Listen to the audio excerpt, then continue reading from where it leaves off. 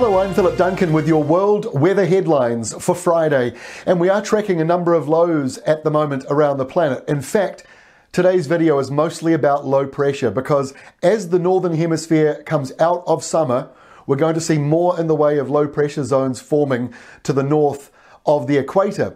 And tropical storm wise at the moment, it's a little bit quieter, but we're still dealing with tropical storm Chanthu up around Japan and Korea at the moment. So I've got more details on that in a second. But first of all, the low pressure map, all the areas that you see with the purple shading and also the darker colors down here indicate low pressure on the planet, whereas the whiter areas show high pressure zones. So we've got a bit of low pressure as we would expect all around the uh, Antarctic region, but in the north there's this big uh, low around Alaska and parts of British Columbia and um, the Yukon. We've also got out to Hudson Bay, another area of low pressure, and around Russia and India, some large areas of low pressure as well. So there's a lot of rainmakers around the planet at the moment. But we kick off with Japan and Tropical Storm uh, Chanthu, which is still around. I mean, it's been here for what, a couple of weeks now, um, churning away. It came up around Taiwan and passed by Shanghai, and now it's coming in to Japan. It's been stalled out at sea, really, for the last number of days. So as we take a closer look at Chanthu, you can see here winds are 80 k's an hour, uh, gusting to 100, so that's gusting just over 60 miles an hour for those of you in America. Uh, tropical storm, so it's not a typhoon anymore, but it's been stuck here. Look at that. All those circles indicate a timestamp every sort of six hours, and it really has been stuck there. Now it's about to pick up speed, and it falls apart as it moves across Japan. But from our last update, which showed it tracking to the north, now it's coming in to the more populated centres, including Tokyo. So this is definitely one to keep an eye on. It's a tropical storm, so it's not going to get any worse than it is now. And it does become an ex typhoon by the time, or an ex tropical storm by the time it gets to the um, central eastern side of Japan and then it moves out to sea. So this is one to keep an eye on. It'll have some very heavy rain. So the rainfall totals here, especially around Kochi, uh, we're talking about over 100 millimeters, maybe 200 millimeters still to come in that area. Also parts of Hiroshima and then across more into central parts of Japan as that system moves through. It's also bringing in a bit of rain to the eastern side of South Korea as that system comes on in. So a fair bit of rain coming through. Now moving further over across Asia and into India, we've got this tropical low that's been sitting here for a number of days now, driving in some very heavy rain around Kathmandu and the Himalaya ranges. So we're seeing more, um, more rainfall in this area for the next wee while. This low is slowly falling apart, but it's not going anywhere away anywhere fast. Look at the last 24 hours of rain.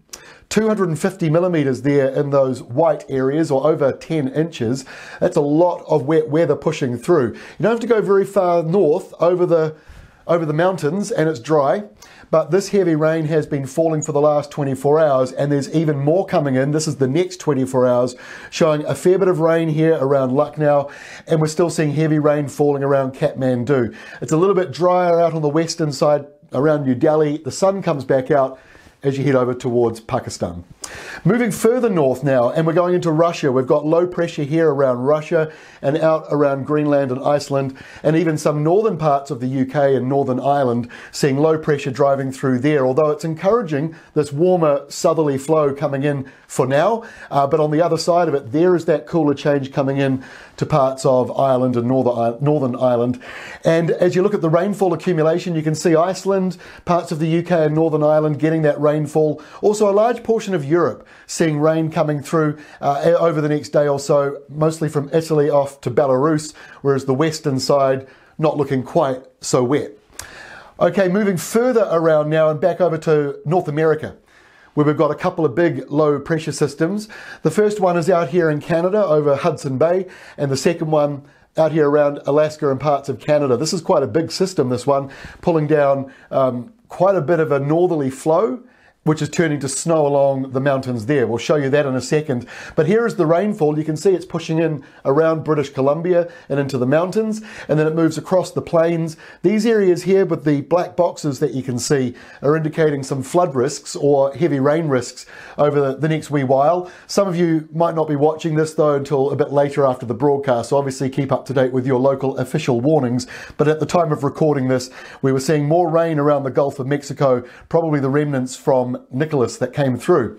Here's that low around Alaska and parts of British Columbia, centered just near Anchorage, pulling down these northerlies between Russia and Alaska, coming in through the strait across the Bering Sea, deadliest catch, and windy, windy northerlies coming in across Unalaska, and then it curves in as this wet westerly for British Columbia.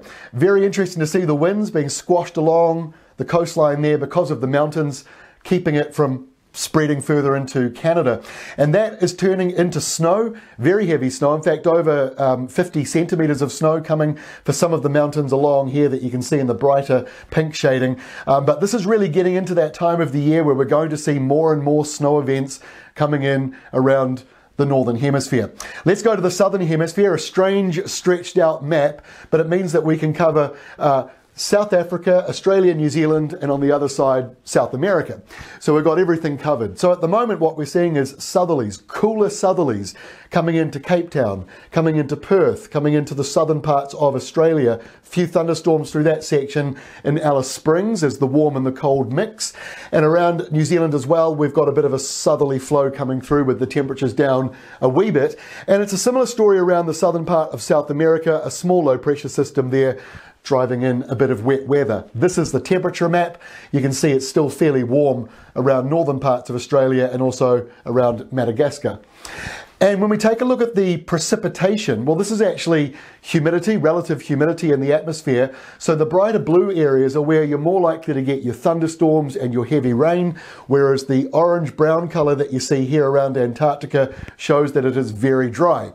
So fairly dry weather pushing in around parts of New Zealand. You can see that wet weather around Australia there. Pretty dry around parts of South Africa as well. And as we head over to South um, America, fairly dry in this area here where it does need the rain. And I'm sorry for those of you in Argentina and Chile who have to tip your head on an angle to see the map.